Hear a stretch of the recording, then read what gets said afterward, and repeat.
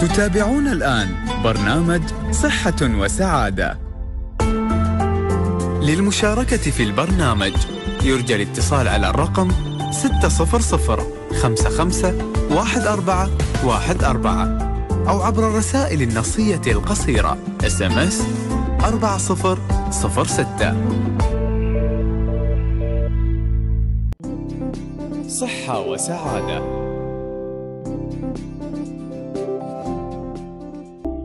السلام عليكم ورحمة الله وبركاته. صباحكم الله بالخير. هذا اليوم الجميل يوم الاثنين نحبه كل اثنين ثاني يوم الأسبوع. ما شاء الله اليوم برود الجو برا الجو جميل. والعصافير تزقزق. إذانا بدخول الشتاء وتغير الجو. وإن شاء الله مع تغير الجو تتغير النفسية. يكون عندنا طاقة أكثر ويكون عندنا آه حب أكثر. إن إحنا نسير وننطلق في ربوع البلاد ونمارس الرياضة ونغير نمط حياتنا. سبحان الله أحس تغيرات الجو نفسها تأثر في نفسيتنا بطريقة أتمنى دائما تكون بطريقة إيجابية. آه وإذا إحنا كل تغيير في الجو استلهمنا منه أشياء إيجابية راح نستمتع بكل فصول السنة. في الصيف نستلهم روحة البحر آه والقعدة على البحر ومن يتغير الجو نستلهم روحات البار والجبال وغيرها. فنخلي تغيرات الجو هذه تحثنا إن إحنا آه ننطلق أكثر عشان تكون صحتنا أفضل. عشان نتكلم في الصحة فهذا برنامجكم برنامج صحة وسعادة. تقدم لكم هيئة الصحة بدبي بالتعاون مع اذاعتنا المتميزه دائما وابدا. إذاعة نور دبي. معاي اليوم في إخراج المسار حليل أبو نوح ورد. ومعاي اليوم في التنسيق نيرا المري وهذه محدثتكم دكتورة ندى الملة. نكون معاكم إن شاء الله على مدى تقريبا اللي هو آه نسولف معاكم نطرح لكم مواضيع طبية بدراسات آه ولكن أيضا نبغى نسمع آرائكم آه اقتراحاتكم ملاحظاتكم. رسائل شكر عندكم. ودائما ارجع أكد على الاقتراحات اللي تكون عندكم لأن دائما أي خدمة أي بضاعة أي خدمة أي منتج موجود هناك وجهتين النظر وجهة نظر اللي يقدم هذا المنتج أو هذه الخدمة ووجهة نظر المستقبل لهذه الخدمة أو هذا المنتج. ودائما دائما تهمنا وجهة نظركم عشان في موجودة قنوات للتواصل مع هيئة الصحة. من ضمنها برنامج صحة وسعادة عشان يتواصلون معنا على 600 551 والرسائل النصيه على 4006 زائد طبعا دائما أنا اكد إن هناك في كل مركز صحي ممثلين للمجتمع. هم عبارة عن مجموعة من متعاملين المركز الدائمين يتفرجوا على المركز. اللي ما شاء الله دائما عندهم تاكيد دائما عندهم اقتراحات دائما عندهم ملاحظات. انضمهم في مجلس. هذا المجلس يحضر اجتماعات مع الإدارة نجتمع معاهم روحهم مرة كل شهرين. ندخلهم معنا في الاعتمادات ونتواصل معاهم بشكل مستمر عشان يكون عندهم أحدث المستجدات. اللي تحدث في الهيئة ناخذ ملاحظاتهم وناخذ آرائهم ناخذ صوت المجتمع من خلالهم. طبعا صعب نصل لفرد فرد في مجتمعنا. فناخذ هذه هذه الممثلين المجتمع. اي أحد يسمعني اليوم للحين ما انضم إلى ممثلين المجتمع أنا أنصحكم توجهوا للعياده التابعين لها وقولوا نبغى نكون فرد من مجلس خلينا نسميه مجلس إدارة العياده ممثلين المجتمع اللي يتم الاجتماع معاهم. وإحنا عندنا ملاحظات. أهم شيء أهم شيء لما آه ننضم لهال مثل هذه المجالس آه نحن ننضم مجالس الابهات والأمهات في مدارس عيالنا أيضا في العيادات ننضم لهالمجلس آه إنه وإحنا القصد منه ما يكون قناة للشكوى فقط. ما نبغى نصير اجتماع فقط عشان نشتكي.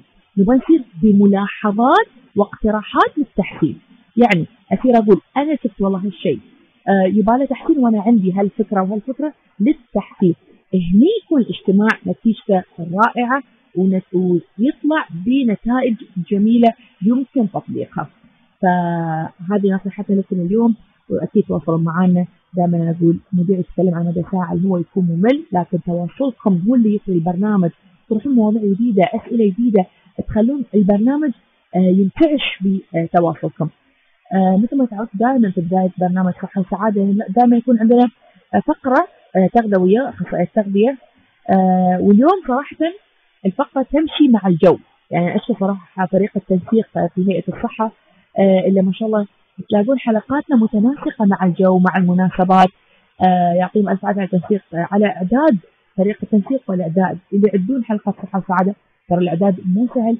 برنامج على هو كل يوم يتم الإعداد له والترتيب مع الضيوف وترتيب الدراسات وغيره. ترى مو شيء بسيط يعطيكم ألف ألف ألف عافية. اليوم موضوعنا عن فوائد الحبة الحمراء، أنا صراحة أحب الحبة الحمراء. واحس هذا الجو هو جو الحبة الحمراء.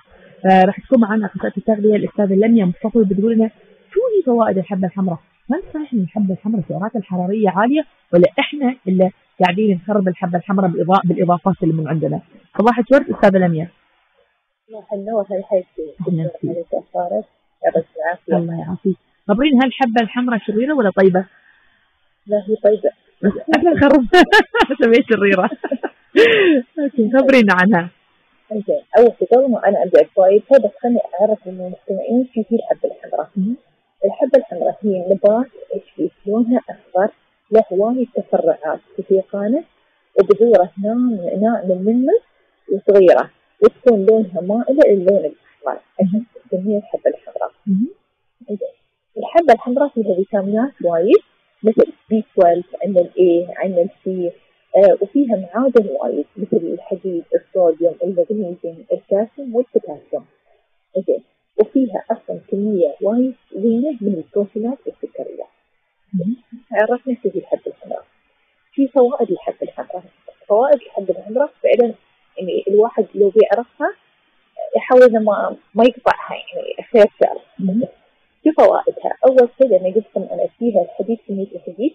يساعد على آه يساعد على علاج آه فقر الدم. الانيميا ليش؟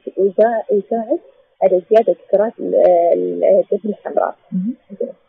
بعدين يساعد على اضطرابات المتعلقة بالهضم بالامتصاص الطعام هالأشياء. تساعد في الامساك تساعد في وقاية الانتفاخ آه تطرد الغازات تسهل من حركة الأمعاء.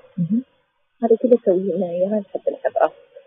آه الحبه الحمراء حتى فيها آه الكالسيوم فيها وايد من الكالسيوم عشان في تمنع من حدوث الهشاشه في العظام ممتاز. آه الحبة الحمراء حتى في تساعدنا على علاج التهابات الشعب التنفسية.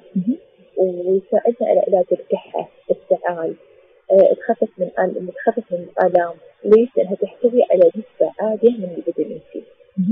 بعدين آه أيضا هي آه تحتوي على وايد من آه مضادات الأكسدة والفيتامين سي اللي هي قادرة على حماية الخلايا من الانقسامات اللي تسببها إلى علي وعليكم من أمراض السرطان. زين وحتى أثبتت الدراسات انها هي الحبة الحمراء قادرة على علاج الخلايا اللي تعرضت للتليف من اصابه السرطان وبس هناك في دراسات بتقول اللي فيه سرطان الثدي والعين هذه يحاول يتجنبها. يتجنبها لأن سرطان ثدي؟ يتجنب. هي سرطان الثدي يتجنب هذا زين. بعدين آه وبعدين فيها آه من أهمها حتى آه تأثير إفراز الدم البيضاء.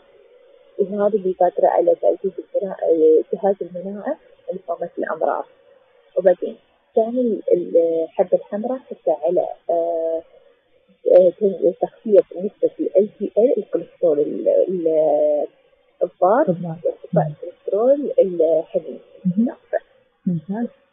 وبعدين الشيء اللي بيقولنا إحنا الحريم وايد إنها تنعم الشعر فيها بروتين في البشرة وتنعم البشره. ما شاء الله. ممتاز والله. الحبة الحمراء وايد لها فوائد. وايد لها فوائد. وبعدين إحنا خاصة عندنا في الاستغلال فيه نقول الحبة الحمراء الوحدة يفكر في النفاس تاخذها. ليه؟ تخلص تخلصها من الاوساخ الموجودة داخل الرحم.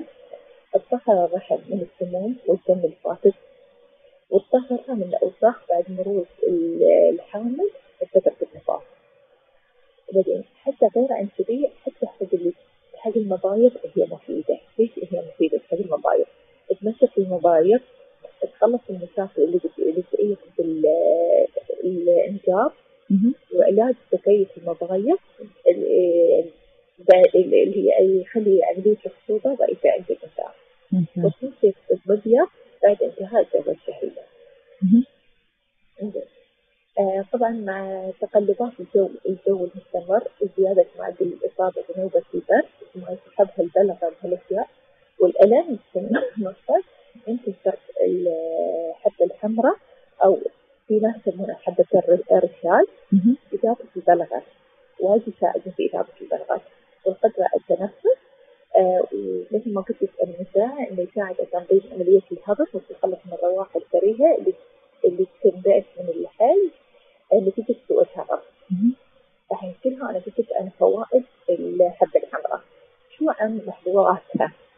في لها محظورات.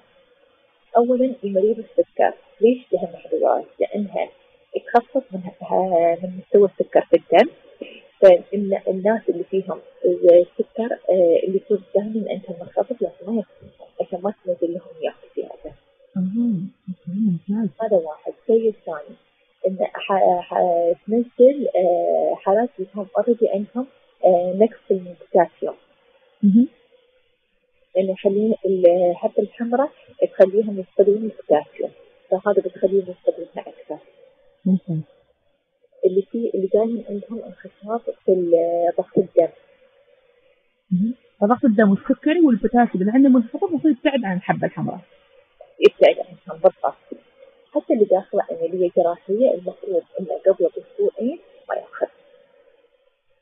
آه عشان عشان ما تنزل ضغط الدم؟ عشان ما تنزل له ضغط الدم وما تنزل له السكر ممتاز ممتاز ممتاز. آه، شو الطريقة الصحية؟ إحنا قلنا هاي الحبة الحمراء ما شاء الله وايد فيها فوائد، شو الطريقة الصحية لتحضير الحبة الحمراء؟ إحنا نضيف عليها كستر، الناس تضيف عليها شكر، ناس بالضبط. حتى الحمرة في ناس يشربونها بمي دافية. أها. يحطونها بمي دافي. ويشربونها هذه أصح طريقة. ممتاز.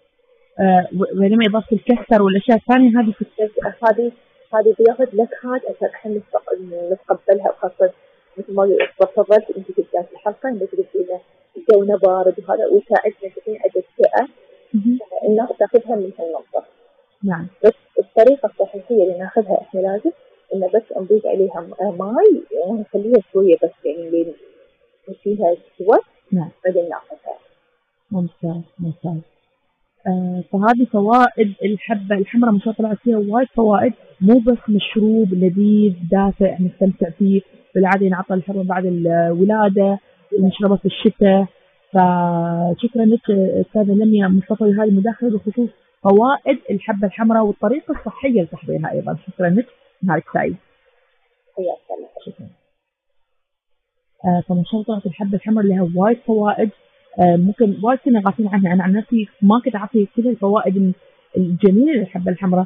وبالعادة ترى مشروباتنا الشعبية اللي إحنا نشربها الحبة الحمراء الزعتر آه كل هذه فيها فوائد كثيرة للجسم. لكن لاحظوا هي نبهتنا إن الناس اللي عندها آه مرضى السكر سكرهم دائما نازل ولا عندهم هبوط في الضغط ولا عندهم نقص في البوتاسيوم لازم يبتعدون عنها لأن تنزل البوتاسيوم وتنزل الضغط وتنزل السكر أكثر. هذه نقطه جدا مهمة. عشان شيء آه مهم جدا. حتى في استهلاكنا للأشياء العشبيه اللي إحنا عندنا واللي متعودين إحنا عليها لازم آه نسال دائما أخصائي تغذية. أنا كذا مرة أقول في هذا الزمن واحد يحتاج يكون عنده دائما طبيب محامي وأخصائي تغذية. في هذا الزمن لازم يكون عندك أخصائي تغذية عندك تغذيه تتعامل معاه وتتواصل معاه دائما يعني شوف حتى الحبه الحمراء ممكن تنزل الضغط أكثر ممكن تسوي نقص البوتاسيوم. طبعا البوتاسيوم مهم جدا لعضلة القلب. إحنا حنطلع إن شاء الله حنفاصل بعد الفاصل راح نكمل باقي فقرات برنامجكم برنامج صحة وسعادة. صحة وسعادة. ورجعنا لكم عشان نكمل باقي فقرات برنامجكم برنامج صحة وسعادة. للتواصل على 600 والرسائل النصية على 4006 عندنا مداخلة من عبد الوهاب. صباحك ورد أخوي عبد الوهاب. مرحبا دكتور ندى كيف حالك؟ اثنين خير الله يسلمك الله يعطيك الصحة والعافية ونحييك ونحيي طاقم العمل والمستمعين ونتمنى لهم يوم سعيد ومبارك وموفق إن شاء الله. آمين أجمعين تفضل الوهاب دكتورة أنا اولا آه يعني أحيي ضيفتك الكريمة اللي آه يعني تكلمت عن الاخصائية التغذية سامح سامحيني ما حفظت لم اللي تكلمت عن الحبة الحمراء وهال يعني فوائدها الفوائد الكبيرة. نعم اولا دكتورة يعني مثلا الحين وايد ناس ما يعرف انه إن هاي ال- ال- الحبه الحمراء ممكن تنزل الضغط ولا تنزل كذا ولا ترفع ولا هالأمور صحية. صحيح. آه وبعدين مثلا آه، يحتاج إنه أي وقت مناسب لشرب هاي ال- ال- الحبة الحمراء. وثلاثة نحن بحاجة إلى أن ننشر هذا الوعي في آه، خاصة في العيادات اللي يترددن عليها الامهات وكذا عشان الأم تنشر الطفل في الأسرة. حتى في عيادات الرجال حتى عند الشباب عشان يعرف هو صاحب سكر ولا صاحب ضغط ولا هذا يكون هذه المادة اللي ياخذها تسبب له بعض الإشكالات يعني. نحتاج إن ننشر هذا الوعي نسوي board في العيادات في كل مكان وعن طريق بعض بعض الفقرات الإعلانية إذا تسمح ظروف الإذاعة ولا كذا تناول كذا كذا فيها فوائد الحين أنا اللي سمعته يعني إحنا قبل نعرف ال- الحرمه يوم تربي يسوون لها هاي الحبه الحمراء. لكن الحين هاي الفوائد اللي اللي عددتها الأخت الكريمة حقيقة وايد فيها فوائد يعني. صحيح. وايد فيها فيتامينات وايد فيها حاجات. اللي نحتاج إحنا لازم ناخذها بالصورة الصحيحه اللي تفيدنا وما تضرنا. بالضبط. وما يعني كلام يطول بس أنا ما اريد اخذ من وقت البرنامج. لا حياك الله حياك الله. آه، شكرا. على إتاحة الفرصة دكتورة. شكرا لك تواصلت معنا. في عبد نعم. الوهاب مستمعنا الدائم. شكرا لك نهارك سعيد. شكرا. آه فعلا مثل ما قال ان وايد لها فوائد ولها آه آثار خلينا نقول أو أعراض جانبية آه لازم واحد يكون على علم فيها فعلا. إن الاقتراح اللي قدماه شوف لما قلت تواصل المستمعين مهم على طول كتبت عندي في الدفتر إنه لازم نسوي حملات إن عن المشروبات الشعبية كيف أخذها بالطريقة الصحيحه وشو الأعراض مالتها ومنو لازم يحاسب لما يأخذها شوفوا لما نقول تواصلوا معنا كتبت على طول في الدفتر إن شاء الله عشان آه نبدأ نطبقه في العيادة. آه طبعا آه تبذل هيئة الصحة بدبي جهود متواصلة من أجل حماية الأطفال والمحافظة على سلامتهم وتعزيز صحتهم. وضمن منظومة الوقاية التي تعمل عليها الهيئة يأتي تحصين الأطفال وخاص طلبه المدارس ومنحهم اللقاحات اللازمه للمحافظة على صحتهم. طبعا لو تابعتوا في الفترة الأخيرة في وسائل التواصل وايد آه يعني رد ينتشر موضوع لقاحات الأطفال واللي ما يبون يعطون عيالهم لقاحات. آه بنتكلم عن جهود هيئه الصحه طبيعة اللقاحات اللي تقدم وأهميتها. بنتكلم اليوم مع الدكتورة سوسن النحاس مديرة الصحة المدرسية في هيئة الصحة بالبيت صباح الفل دكتورة سوسن صباح النور هلا دكتورة أهلا فيك صحه وسعاده هلا فيكم. آه دكتورة سوسن نبتدي أول شيء عن آه شو دور الهيئة ودور الصحة المدرسية في تعزيز صحة طلبة المدارس؟ لأن معظم الأمهات وأنا كنت واحدة منهم قبل أفكر إن الصحة المدرسية فقط الممرضة اللي تحط اللزقة حق الطفل. هذا ينتهي دور الصحة المدرسية. فنبغى نوعي الناس إن الصحة المدرسية عبارة عن جهود متكاملة لخدمة الطلبة. آه بالضبط صح. الصحة المدرسية دورها أكثر من اللي ذكرتيه آه الصحة المدرسية في هيئة الصحة في دبي. آه إحنا نشرف على جميع المدارس الخاصة آه في إمارة دبي. نشرف على عياداتهم. نتأكد آه من الكواليتي كيف آه الوضع عندهم في كل المراحل. من أهم أهم الأشياء اللي اليوم بنناقشها موضوع التطعيمات. الوقت وايد مهم نتكلم عن التطعيمات لأن مثل ما قلتي. حاليا في ناس آه، مع التطعيم وفي ناس بدأت تخاف من التطعيم. إحنا طبعا نحب نقول لهم إن هيئة الصحة آه، وحتى آه، وزارة الصحة جميع دولة الإمارات ما بتعرض عيالهم لخطر، لو في شيء خطير أكيد ما بتعرض عيالهم، إحنا دائما نتابع كل ال- الهيئات والمنظمات الدولية نتأكد من سلامة أي لقاح قبل ما ندخله ونعطيه للأطفال. فنحب نطمئن الجميع إن التطعيمات تعتبر من أفضل آه، وأكثر وسيلة آمنة وفعالة عشان آه، توقي عيالهم من الأمراض المعدية. صحيح. وإن هذه آه، التطعيمات يعني تخضع لاختبارات على نطاق واسع لضمان جودتها قبل ترخيصها حتى حول العالم. وإحنا نتابع جميع الهيئات الوطنية والدولية ون- ون- ونأكد للجميع إن هاي التطعيمات جدا آمنة. ونشجع الأهالي كلهم انهم بعد لهم دور معانا يساعدونا عشان نقدر آه، نلقح عيالهم نعطيهم تطعيماتهم اللازمة آه، حسب البرنامج الوطني للتطعيمات. ممتاز آه، دكتورة سوسن آه لو نتكلم شوية عن كثير من الأمهات اللي يسألونا في ال- في العيادات يقولون أنا ما أعرف هل المدرسة بتطعم عيالي ما بتطعم عيالي شو جدول التحصينات بالعادة اللي تقوم بها الهيئة في المدارس؟ أوكي. بالنسبة للمدارس المفروض آه، هاي واحدة من آه، أهم الأشياء اللي تكون فيها المدارس إنها آه، تعطي تطعيمات للأطفال. ففي بعض المدارس آه، تتعاقد مع هيئة الصحة وإحنا اللي نصير نعطي تطعيمات.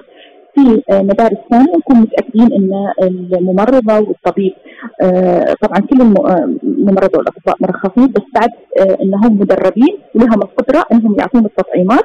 فإحنا نشرف عليهم آه، نعطيهم التطعيم من هيئة الصحة. وهم يقومون بعملية تطعيم الأطفال. ففي عندنا قسمين قسم متعاقد مع هيئة الصحة إحنا بنفسنا نصير نعطيهم. قسم ثاني يأخذون التطعيم من الهيئة ويعطون الاطفال ممتاز. تحت اشرافنا. ممتاز. آه، دكتور سلسل طبعا الوقاية من الأمراض في المدارس آه، التطعيمات أو اللقاحات تعتبر جزء منها. شو دور التوعية وشو الحملات اللي تسوونها للوقايه وحماية صحة الأطفال في المدارس؟ في العديد من طبعا جزء مهم جدا تثقيف الأطفال. زائد عمل الفحوصات اللي هي screening للكشف المبكر عن الأمراض. فإحنا عندنا مثل برامج خاصة. أكثر الأشياء اللي نركز عليها طبعا في وايد وايد أشياء نركز عليها بس من أكثر الأشياء اللي هي ال healthy lifestyle عاداتهم الصحية النشاط البدني الغذاء الصحي السمنة مواضيع التدخين لأن في بعض الطلاب آه، ممكن في مرحلة آه، المراهقة يحبون يجربون فإحنا نعطيهم آه، آه، توعية عن أضرار التدخين. كيف نساعدهم؟ ان أنتم المفروض تبتعدون عنه نهائيا آه، عن النظافة. آه، خصوصا غسل اليدين لأن هي أماكن مغلقه يعني أماكن مغلقة فيها عدد كبير من الأطفال في كل فصل. هاي تعتبر آه، يعني لو هم ما اتبعوا العادات آه، الصحية السليمه ممكن بسهولة تنتشر الأمراض بينهم. فبعد ان آه، مثل ما قلت لك العادات الصحية وغسل اليدين من أهم الأشياء كيفية الوقاية من الأمراض آه، خصوصا الأمراض التنفسية مثل الإنفلونزا وغيرها. آه، في حملات اللي هي تتكلم عن التسامح والبعد عن التنمر بين الأطفال ممتاز ف- ممتاز يعني يعتمد على المواسم وفي أشياء يعني خلال طوال السنة ممكن نقدمها للأطفال. آه، أنا لفت انتباهي إن أنتم حتى تسوون حملات عن التنمر آه، يعني ليست فقط الصحة الجسدية يعني الوقايه من الأمراض ولكن حتى الصحة النفسية عن طريق حملات البعد عن التنمر وإيذاء الآخرين وغيرها. بالضبط. دكتور سوسن آه، ما يخفى على حد إن آه، دور الأهل والصحة المدرسية هو دور متكامل للحفاظ على صحة الأطفال. فكيف تنسقون مع الأهل؟ آه، شو أهمية دور الأهل للحفاظ على صحة أطفالهم وتعزيز دور الصحة المدرسية أيضا؟ طبعا الأهل يعني لو إحنا مهما سوينا من جهد لو ما تكاتفوا والأهل يساعدونا بيكون في جاب بيكون في ثغرات الخدمة آه، دورهم جدا جدا مهم. يعني في عدة أشياء مثلا لو قلنا لسالفه التطعيم آه، إحنا وايد يهمنا إنهم هم يوفروا لنا بهذا التطعيم عشان إحنا بطاقات التطعيم هاي نشوف شنو ناقص عيالهم ونكمل لهم. آه، أو آه، التطعيمات مثلا اللي ناقصتهم من مرحله الطفولة أو في تطعيمات تكون كجرعات منشطة هم يحتاجونها. فنعاني من بعض الأهالي هنا ما يفشون بخاطر التطعيم. يعني كل مرة ومرتين وثلاث إحنا نبغى تجاوبهم مساعدتهم لنا. يعني إحنا في النهاية يهمنا صحه وسلامه أبنائهم. ف يعني صدق إن إحنا وايد يهمنا إنهم يخبرونا زائد إن أي حالة صحية أي تغير في حالة صحية لأبنائهم لازم يخبرون عيادة المدرسة. صحيح بالضبط. يعني تقرير أي مثلا الياهل آه، آه، دخل المستشفى لسبب الاستغفار عنده أي مرض معدي حتى لو مرض غير معدي آه، أمراض مزمنة. لازم المدرسة وعيادة المدرسة تكون على علم. بالضبط. لأن هذا في النهاية صحه وسلامه عيالهم. هذا اللي بيحافظ عليها. آه، زائد إن مثلا عندنا بعد شيء نحتاج مساعدة ال- الأهالي فيه يوم آه، الطالب أو الطفل عنده أي مرض معدي لا يطشون عيالهم من المدارس. في منهم يطشون يخافون على سالفه الامتحانات.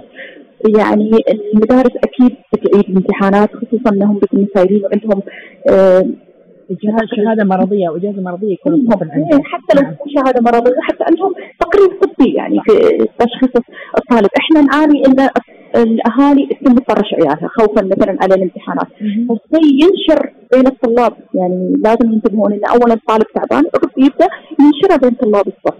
فإحنا نبغى مساعدتهم يعني هم الطالب المريض المفروض يقعد في البيت إلى ان يشفى تماما عقب يرد المدرسة يعني عادي الدروس اللي بتفوت المدرسة أكيد بتتعاون بيشوفوا لهم الامتحانات بتنعاد أهم شيء آه، صحة وسلامة الجميع.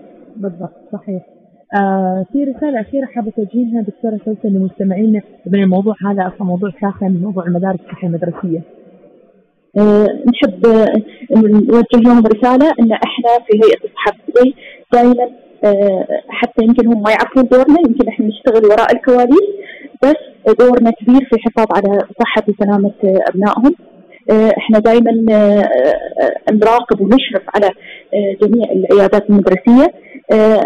دائما نهتم ونشوف نتابع معاهم ونشوف أي حالات حتى في حالات انتشار الأمراض إحنا معاهم في حالات التطعيم كل شيء إحنا نكون معاهم أول بأول. بس نبغى مثل ما قلت مساندتهم أكيد. هم يساعدونا عشان نقدر نوصل الخدمة بأفضل وأكمل وجه يستفيدون طلابنا وعيالنا في كل آه، مدارس ممتاز ممتاز جدا. أنا شايفة دكتورة سوسن النحاس مديرة الصحة المدرسية في هيئة الصحة بالبيت. مداخلتك معنا اليوم آه، بخصوص الجهود المتواصلة لتحسين الأطفال وجهود الصحة المدرسية بشكل عام لوقاية صحة الأطفال. شكرا لك نهارك سعيد. مع السلامة. مع السلامة. آه طبعا هذه رسائل الأمهات والأبهات وأنا واحدة منهم الحين لما دكتورة سوسن قالت آه، دكتور التطعيم تخيلون إني ما طرشت تطعيم عيالي؟ ها هذا تفكير لي أنا المدرسة مذكرتني ولازم أطرش. لا لأنه آه فعلا فعلا يعني لازم نعطي أولوية لمثل هالأشياء. لازم ننتبه للأمور البسيطة خصوصا في التطعيمات. آه إن عيالنا ياخذون تطعيمات وقتها يا أمهات يا أبهات. ما نبغى إلى الآن في ناس يرفضون تطعيم عيالهم. بحجة بعض الدراسات إذا طلعت في فترة من الزمن. وما أدري ليش الناس يعني آه متمسكة بهذه الدراسة أو الدراستين اللي طلعت ويتركون كل الدراسات الثانية الموثوقة. مثلا إذا أنتم عندكم شك ادخلوا على مواقع الموثوقة مال منظمة الصحة العالمية اليونسكو وغيرها واقروا عن التطعيمات والدراسات المرتبطة فيها. لأن حرام إن طفل ما يملك قرار في إيده. وأنا أصير احرم من التطعيم ويجي له شيء جدا جدا بسيط. مثلا يجي له آه تخيل يعني للاسف ممكن يغشى الأطفال مثلا اللي هو المفروض يعني قضي عليهم مع وجود التطعيمات. أو إلى ابتزاز أو إلى أي من الامراض حرام إنه هو يعاني لأنه أنا كأب أو أنا كأم والله دراسة أنا سمعتها مرة أو عشان جارتي قالت أو عشان حد قال لي إنه والله لا لا تطعمون عيالكم ليهم توحد، لا تطعمون عيالكم التطعيم يخرب مناعتهم، لا تطعمون عيالكم التطعيم ما منه فائده، ما يستوي هذا عبارة عن مستقبل هذا الطفل. ممكن مرض إن نقي منه طبعا بعد رب قدرة رب العالمين نحمي الطفل من من مضاعفاته وتصيبه إعاقات بتطعيم لكن أنا اثر على مستقبله كامل وحياته كامل لاني ما بعطيه دائما بصير المعلومة من مصدر الصحيح روحوا للطبيب تسألوه هل التطعيم زين ولا مو زين؟ خلي اسالوا اطبائكم عن الدراسات. اسالوا شوفوا الدراسات تدعم التطعيم. فنبغى نحن كلنا ملتزمين بتطعيم عيالنا وأهمية التطعيم. وأذكركم بتطعيم الإنفلونزا. فترة كان مخلص ما شاء الله من الطلب اللي عليه ولكن الحين توفر في العيادات اتصلوا في آه مركز الاتصال مال الهيئة 800 342 خذوا موعد. يعني طبعا في مواعيد في عيادات طب الأسرة. وروحوا أنتم والعائلة وخذوا تطعيم. ودائما أشجعكم تساعدون عن أوقات الذروة الموجودة مثلا بعد الساعة 10 أو 11 الصبح آخر يعني متأخر في المساء يكون وقت ذروة المراكز عشان ما يتطولون خذوا دائما أول الصبح يكون العيادات دائما تكون أهدى تخلصون بسرعة تبتعدون عن الناس المرضى. لأن لما تكون تكون وقت الذروة في المراكز في المراكز يكون نص قاعة الانتظار ناس تكح وناس تعطس وما تعرف شو الأمراض اللي عندهم. فممكن إذا داش عشان تطعيم تطلع وأنت مريض. تشيل معاك الفيروس ترجع بيومين انت وياك تعبانين ابتعدوا عن وقت الذروة روح في الوقت الخفيف التزموا بالموعد وتاخذون تطعيم وإن شاء الله إن شاء الله تكونوا دائما بصحة وسعادة. أنا حاطلع إن شاء الله فاصل تأخرت على الفاصل شوية. بعد الفاصل نكمل فقرات برنامجكم برنامج صحة. وسعاده صحة وسعادة.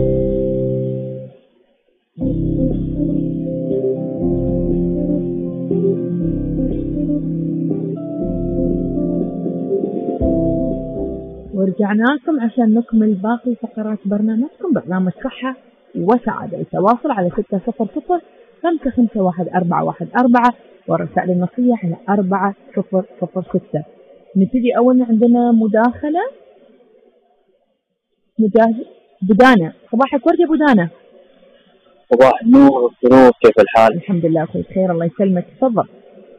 طال عمرك آه، عندي ملاحظة على ما بسميها شكوى بس بسميها ملاحظه على المستشفى راشد على مستشفى راشد إيه. تفضل آه، أمس أنا تقريبا كنت في العمل وترخصت من عمل على حالتي كانت شوي صعبة.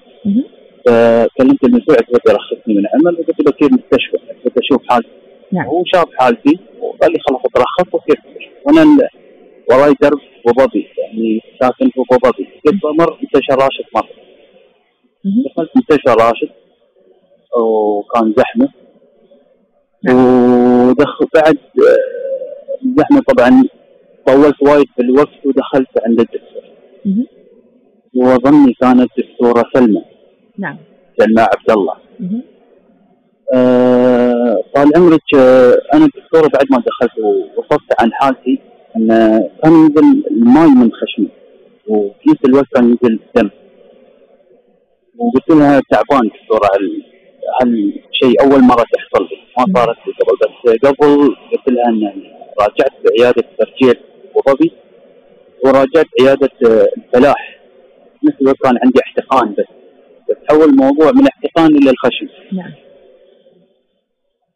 ودكتوره طبعا ما فحصتني ما اخذ ما ما, ما سوت لي شيء بس اللهم اللي أعطتني آه، مضاد حيوي ومسكن. وأنا كنت جاي بملابس عمل. قلت آه، يعني ماني عارف هل هالمسكن يمشيني الحين لين ابو ظبي نعم. أو آخذ المسكن الحين. فهل يجوز أن الدكتورة ما تفحص الشخص أو ما تشوف حالة الشخص؟ فما ما كنت اعرفها ما طمنت من عندها. وطلع خذيت الأدوية اللي هي وصفت اياه وأنا طلعت. ورحت عيادة برجيل في نفس الوقت وأنا ساير ابو ظبي. دخلت عيادة برجيل. وكلمتهم عن حالتي قلت لهم عندي واحد اثنين ثلاث وليت المستشفى راشد. ان الدكتوره عطتني مسكنات قبل دخلت على الدكتور مختص الانف والحنجره. دخلت عند الدكتورة وشافت حالتي. نعم. قالت لي انت عندك فيروس. مهم. وعندك التهاب شديد. نعم. فلازم نعطيك مسكن ومغذي في نفس الوقت. وجزاها الله خير أعطتني مسكن وأعطتني ال- ال- ال- المغذي نعم. واعطتني الدول اللي هي دول حساسية. مهم. فالحمد لله صرت أحسن. يعني كلام الدكتور اللي كان في مستشفى راشد غير. الكلام اللي كان الدكتور مستشفى برجيل غير. إحنا في مستشفى برجيل على الأقل اعطوني مسكنات بالابر والمغذي بالابر ولكن مستشفى راشد ما أعطوني لا مسكن ولا شيء. الحين لا سمح الله أنا اليوم فيني فيروس أصير أنام يعني وحرمتي يمي يمكن أنا أعديها بهذا الشيء وأنا ما كنت اعرف إن أنا عندي فيروس آه، بشكل أخوي بدانا أنت قلت الدكتورة أعطتك مسكن أيضا. مضاد مسكن. أعطتني البنادول. مسكن أعطتك مسكن يعني. هي البنادول. بس البنادول. أنا حالتي في نفس الوقت كانت وايد صعبه البنادول لين ما تدفع البنادول تاخذ وقت؟ وأنا بسوق من دبي لأبو ظبي. يعني بسوق السيارة على هالحال. فالمفروض انه كان يكون مسكر بشكل أب... يعني الابر مش الأدوية. اول ما تفحص حالتي قبل لا هي تشوف الحاله لكن من من العيادة برجع أعطوني أبر على طول. على طول رددوني وأعطوني أبر ومغذي على حالتي هاي. إنزين. هو قاضي أنا ما أعرف يمكن الدكتوره تتحرى ان أنا جاي أبي الإجازة ولا هذا. ترى حتى مستشفى بلديهم روحهم أعطوني اجازات يوم قالوا لازم ترتاح في البيت لين ما تراجع. أنا أساسا أنا دام في مكان حساس. فعادي يتنقل أي مرض فيني و- ويجيني والدكتوره أنا وصلت لها هذا الشيء. هذا كانت ملاحظتي. انزين أخوي آه أنا بقول لك من وجهه آه، من وجهة نظري كطبيبة طبعا ما أعرف الحالة اللي أنت جيت وما فحصتك لكن آه أخذ الإبر أو المغذي بالعادة ترى ما نخص بالحالة الصحية اللي تكون عند عند المريض يعني. إحنا بالعكس حسب حسب ال- الاعتمادات الدولية ال JCI المريض لما يجيك بألم لازم ما تعطيه إبرة تعطيه حبوب لأن ال- الإبرة أصلا تسبب ألم زيادة بس أنا أقول لك هذا من وجهة نظري من سمعته من عندك أنا ما شفت الحالة لكن أكيد إحنا بنرفع الملاحظات لمستشفى راشد آه وبيوصلك إن شاء الله اتصال من مستشفى راشد آه يأخذون معلومات زيادة عنك يدخلون على ملفك الصحي ويشوفون شو كانت الحالة لما انت عند الدكتورة. آه عندي ملاحظة سموح على المقاطعه لأني أنا رايح من دبي من مستشفى راشد لين مستشفى برجيل والدم تنزف من خشمي لكن- درجه أنا واصل سيارة وأنا حاط الكينك على أساس إني أوصل بس هناك وأشوف أكثر عن حالتي لكن أنت ما اعطيت علاج حق الأنف. كانت عندها زحمة أو شيء وتبغى تخلص المرضى بشكل سريع يمكن من هالنواحي. أنا ما هالشيء مو مشكلة أخوي بدر إحنا نحاول إن شاء الله ال- الرسالة للمس... للمعنيين وإن شاء الله يوصل يوصلك إن شاء الله ال- الرد. آه أنا ما بتأخر على ضيفتي أكثر آه، دكتورة مي رؤوفي الحين موصول معي عن طريق آه، الهاتف تكلمنا عن حملة دمي الوطني والنجاحات المتوالية لهذه الحملة. دكتورة مي صباحك ورد صباح الخير والسرور دكتورة كيف حالك؟ الحمد لله سامحينا عاد إحنا يعني ضغطنا الوقت المخصص لك لأن مثل ما تعرفين هو برنامج للمستمعين فما نقدر يعني ما ناخذ الم- المكالمات. أكيد. فنتكلم دكتور معي على السريع عن آه، أهداف حمله الدمي الوطني، تفاعل الناس، اذا عندك أي أرقام، وين وصلتوا فيها؟ آه والله دكتورة ندى هذه السنة إحنا فخورين بالتقدم والنجاح لحملة دم الوطني. أحب طبعا أذكر أنه حملة دم الوطني أطلقت عام 2012 تحت رعاية سمو الشيخ حمدان بن محمد بن راشد الله يحفظه. وهي آه، آه، حملة لتوعية الجمهور ودعوتهم للتبرع بالدم طوعا لإنقاذ حياة المرضى المحتاجين. دائما نذكر إنه لا يوجد بديل للدم الإنسان فإحنا في بنوك الدم في جميع دول العالم بحاجة إلى آه، مختلف أصناف الدم. والأشخاص ال- اللي بصحه آه، جيدة وتنطبق عليهم شروط التبرع بالدم. إنه يساهمون آه، في التبرع بالدم آه، للمساهمه في إنقاذ حياة المرضى بعد مشيئة الله سبحانه وتعالى. آه، حملة الدم الوطني آه، بدأت في 2012 وكانت حصيلتها تبرع 430 شخص بالدم. والحمد لله إحنا اليوم في عام 2019 إلى حد اليوم بدأت في 13 ديسمبر وتكمل إن شاء الله في 15 ديسمبر. بدأت في 13 نوفمبر ومستمرة إلى 15 ديسمبر وحصيلتنا لحد اليوم الصبح هي 8500 آه، وحدة دم. وطبعا أوجه الشكر والتقدير لكل المتبرعين اللي ساهموا بالتبرع بالدم وإلى جميع الجهات اللي تنظم حملات التبرع بالدم. وهذه السنة طبعا كانت ممتدة الحملة ليست في إمارة دبي فقط بل آه، شاركت فيها آه، صحة أبو ظبي وبنوك الدم في العين بالإضافة إلى طبعا بنك الدم بالشارجة التابع إلى وزارة الصحة. فهيئة الصحة في دبي هذا العام آه، قامت بتشجيع بنوك الدم داخل الدولة للمساهمة والمشاركة. والحمد لله طبعا الحملة الغاية منها ليس فقط سحب الدم لكن توعية الجمهور آه، حول أهمية التبرع بالدم شروط التبرع بالدم لأن بنوك الدم بحاجة إلى الأصحاء من أفراد المجتمع أنه يتبرعون بالدم وهو طبعا له فوائد للمتبرع بالإضافة إلى أنه طبعا عمل إنساني نبيل وفي بعض الحالات المرضية يكون هو العلاج الوحيد لإنقاذ حياة المريض. فالحمد لله في وعي وفي آه، تقدم وطبعا شاركت آه، كثير من الجهات الحكومية والخاصة والشركات والجامعات في الحملات اليومية. يوميا يكون أدنى ما يقارب آه، اثنين إلى ثلاث حملات خارج المركز في دبي وكذلك طبعا في أبو ظبي والعين والشارقة في حملات إضافية بالإضافة إلى استقبال المتبرعين في مراكز التبرع بالدم في الدولة. ممتاز. آه، دكتورة مي آه، نعرف الجمهور على السريع إنه لو أي حد متى بتخلص هالحملة وإذا حد حاب يتبرع شو الإجراءات اللي لازم يسويها؟ آه الحملة إحنا طبعا بديناها من 13 نوفمبر وهي كل سنة تبدي هذه الحملة تزامنا مع احتفال دولة الإمارات آه، يديم عزها في الأعياد الوطنية العيد الوطني. فنبدي دائما اسبوعا قبل العيد الوطني ونستمر اسبوعا بعد العيد الوطني لأنه طبعا التبرع بالدم هو عمل وطني. فنحب دائما آه، ندمجه بالأعمال الإنسانية والأعمال الوطنية.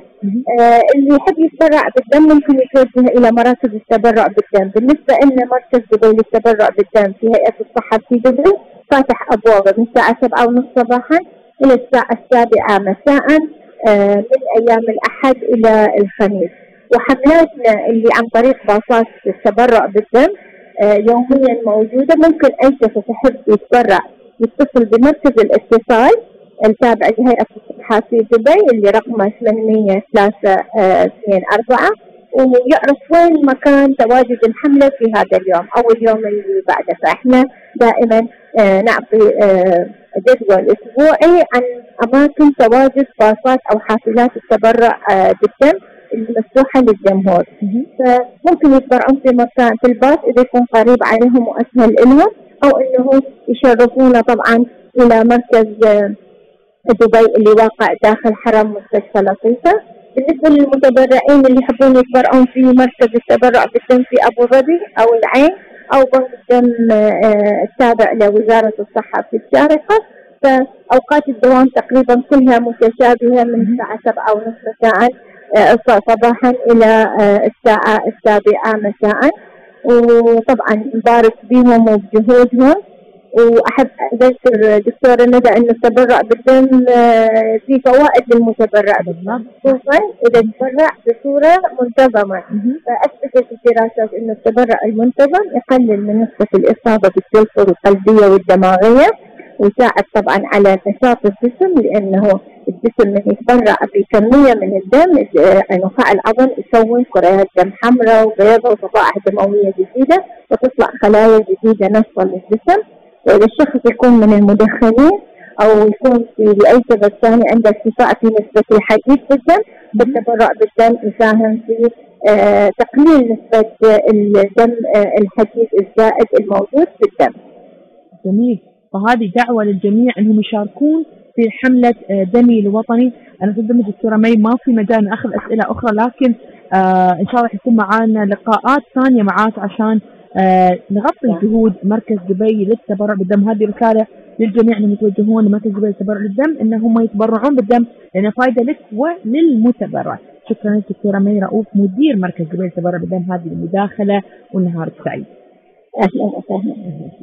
آه طبعا أنا جربت صراحة التبرع بالدم من قبل. العملية ترى وايد سهلة ما تطول.